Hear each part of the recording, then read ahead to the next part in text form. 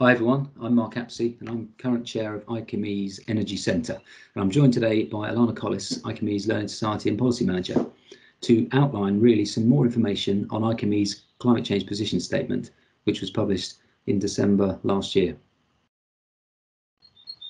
Hi everyone, um, thank you Mark. So can we just um, outline, Mark, for us, everyone, why is the issue of climate change important and why now? Well, I think probably everybody knows and has read about the issue of climate change, and is one of the grand challenges we face right now with the possibility of extreme and irreversible consequences if we don't act.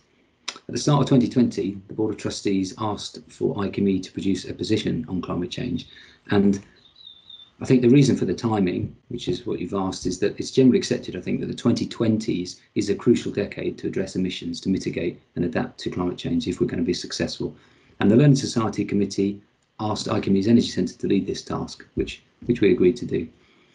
Uh, so the first thing we did was we established a task group with a core writing team and a wider team of diverse members from around the world and across different sectors and areas of expertise. In total, we had 16 members from seven different countries and representing eight different special interest groups on the team. And together we came up with our first task, which was really to think about and think through how to produce a statement that would represent our views collectively and what it should be based on. So to do that, we started off by drafting some principles initially, and these were shared with the leadership of all the special interest groups and the regional groups across IChemE to get some early feedback in parallel to that, the task group also considered what the statement should mean for IChemE as a whole and what actions and commitments we might take as a result of the statement. So having got the principles and having got some thoughts on commitments, we pulled together a draft position statement, which we then went to share more widely through a consultation. And Alana, I wonder if you'd outline the process we went through in terms of that.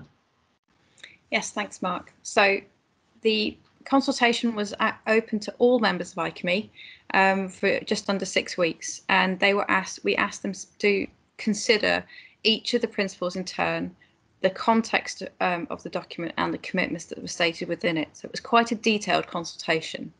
Um, we got a, we received a response from almost 500 members across 31 countries, and over 84% of members supported things like uh, the alignment with the 2015 Paris Agreement and the need to keep global average temperature rises to below one and a half degrees Celsius um, since pre-industrial levels. Um, it was recognised that it was a global issue that affects everyone, and chemical engineers should um, minimise their adverse any adverse impact and not shift impact elsewhere. This principle aligns with the UN Sustainable Development Goals, um, and it received over 85% support in terms of specific technical expertise in the application of chemical engineering, systems thinking, innovation, and use of best available techniques all received strong support over 80%. However, it was acknowledged that to realise this, the principles of education, training, and application skills are absolutely essential. And it's fantastic to receive that level of support, I think, for the, the draft statement when it was published. And all of those things are important. And I think the training aspect you raise is important too in terms of the way it applies to both the current and future workforce, but not just the technical aspects of that, but also the need to train in social responsibility and ethics associated with what we're doing. And we make reference to these in the principles.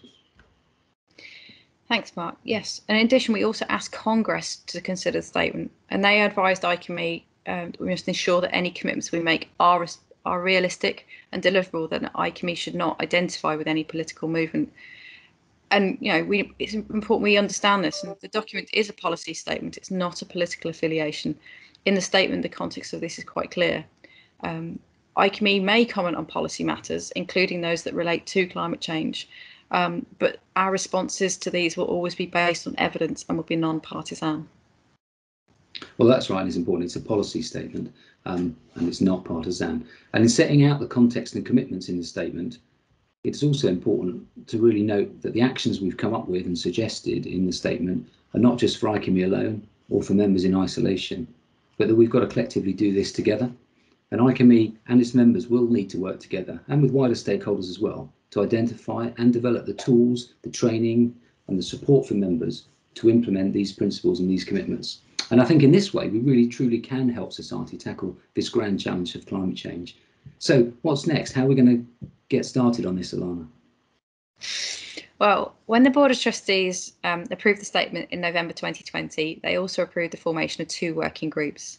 The first of these will work across all of IChemE to review the commitments and um, set some high level action plans to develop these. They won't deliver all these action plans themselves as one working group. This will then cascade to other areas within IChemE. It'll go to things like our qualifications committee, um, and the Education Accreditation Forum, that the qualification space of IChemE. It'll also go and ask special interest groups and regional groups and other knowledge groups such as the Energy Centre or as, as it now is the Energy Community Practice to you know support and deliver some um, relevant projects aligned with this. The second group will lead and advise the Board of Trustees on how IChemE can work towards achieving net zero emissions, um, carbon emissions from our direct operations by 2025.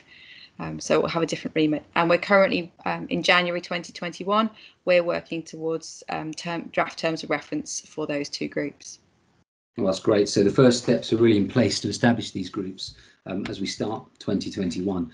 And I'd really urge, and I think we collectively, Alana, urge members to read the statement if you haven't already, which you can find on IChemE's website, along with some further information that's available in the article in the December and January edition of the Chemical Engineer magazine.